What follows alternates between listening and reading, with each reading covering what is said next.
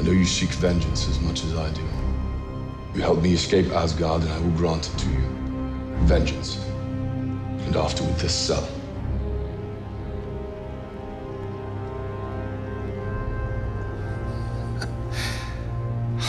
You must be truly desperate to come to me for help. What makes you think you can trust me? I don't. And you should know that when we fought each other in the past, I did so with a glimmer of hope that my brother was still in there somewhere.